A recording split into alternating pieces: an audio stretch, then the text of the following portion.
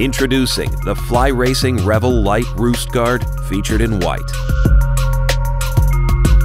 The chest and back shells are constructed from a plastic that balances high levels of flexibility with low weight.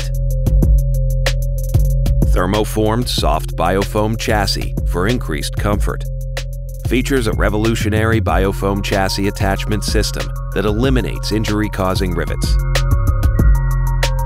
Also utilizes air channels molded into the biofoam and multiple vents for maximum airflow with an integrated Y-strap system for modular use, with or without the backplate.